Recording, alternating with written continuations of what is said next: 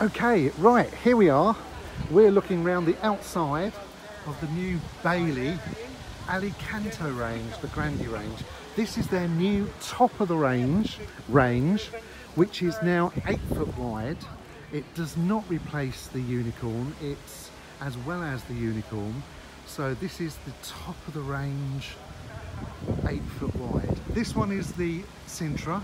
This is the single axle, two twin beds inside, and we're just going to have a quick walk around. First of all, you'll see here, that's your toilet, emptying point for the cassette toilet, and where you top up the, uh, the tank.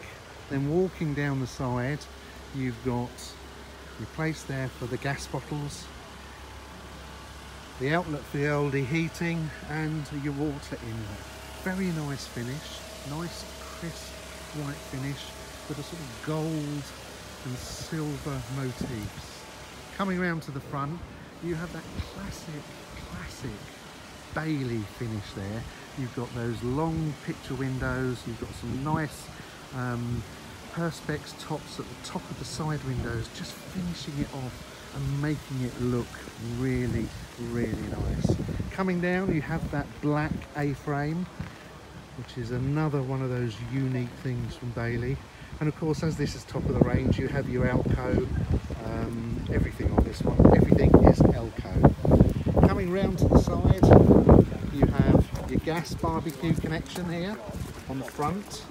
And then you have an under seat area there that has lots of extra storage.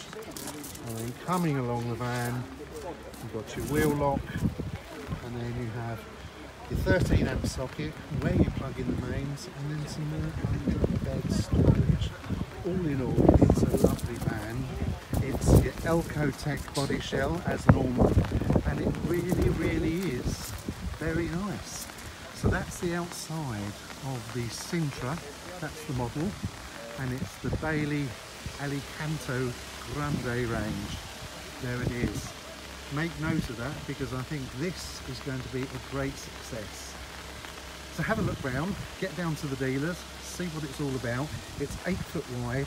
It really, really does make a difference when you get inside.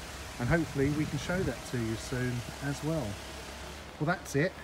Um, I hope you found that informative. Um, check out Bailey.